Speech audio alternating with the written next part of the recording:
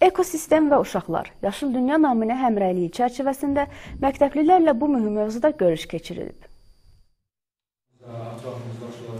Naxçıvan şəhər 14 nömrəli tam orta məktəbində Naxçıvan Muxtar Respublikası Ailə, Qadın və Uşaq Problemləri üzrə Dövlət Komitəsi tərəfindən təşkil olunan tədbirdə çıxış edənlər Azərbaycan Respublikasında 2024-cü ilin Yaşıl Dünya naminə həmrəylik ilə elan edilməsi haqqında Azərbaycan Respublikası Prezidentinin 25 dekabr 2023-cü il tarixli sərəncamının əhəmiyyətini qeyd ediblər. Bildirilib ki, keçirilən tədbirin məqsədi mühüm sərəncama uyğun olaraq ətraf mühitin mühafizəsi və təbii resurslara qənaətlə bağlı uşaqların məlumatlılıq səviyyəsini artırmaqdır. Təqdimatlarda Tədqiqatlarda uşaqlara ətraf mühitin çirklənməsinin, çirkli havanın və suyun insan orqanizminə zərərindən, eləcə də yaşıllıqların qorunmasının əhəmiyyətindən bəhs edilib. Diskussiya şəraitində keçən tədbirdə uşaqların ətraf mühitin təmiz saxlanması üçün fikir və təkliflər də dinlənilib.